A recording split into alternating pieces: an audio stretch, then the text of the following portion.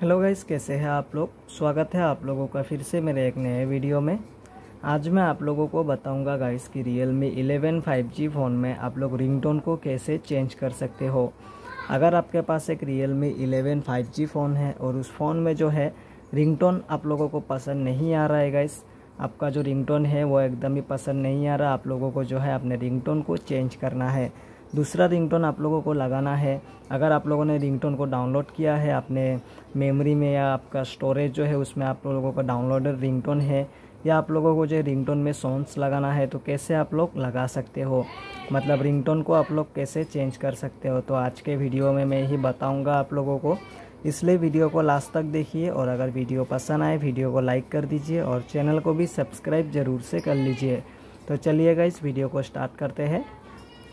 Ringtone को change करने के लिए आपको सबसे पहले जो है अपने फ़ोन के सेटिंग्स में जाना है और यहाँ पर से आप लोगों को नीचे स्क्रॉल डाउन कर लेना है।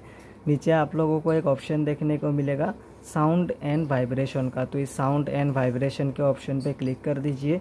क्लिक करने के बाद यहाँ पर से आप लोगों को थोड़ा सा नीचे स्क्रॉल डाउन कर लेना है। थोड़ा नीचे स्क्रॉल डाउन करते ही यहाँ पर एक रिंगटोन का ऑप्शन देखने को मिलेगा, गाइस। तो इस रिंगटोन के ऑप्शन पे क्लिक कर दीजिए। क्लिक करने के बाद गैस देख सकते हैं, यहाँ पर बहुत सारे रिंगटोन है, जैसे कि सिस्टम रिंगटोन्स और यहाँ पर आपका जो डिवाइस रिंगटोन है, वो भी आप लोगों को मैं बाद में बताता हूँ गैस पहले मैं सिस्टम रिंगटोन के बारे में बता देता हूँ।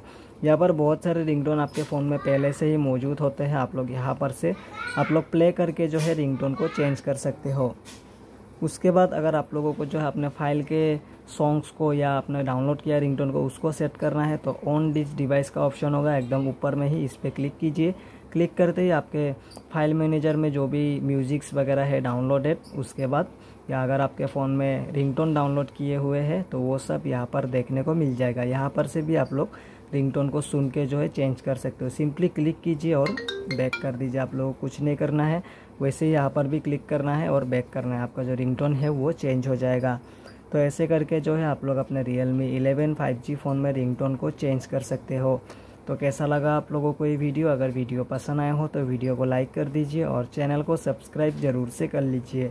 मिलता है कल एक नेक्स्ट वीडियो में, तब तक के लिए बाय बाय